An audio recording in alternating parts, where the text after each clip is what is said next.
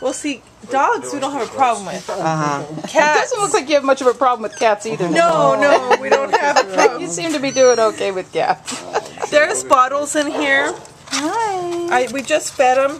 Okay. This Oh, one, good, this okay. one normally eats a Bottle. a bottle Wow, that's good. every two hours. Oh, he should just be drinking the milk. He shouldn't be eating the bottles. Oh, I should have mentioned that to you. yeah, eating the bottles is not good for them. the Well, they look healthy.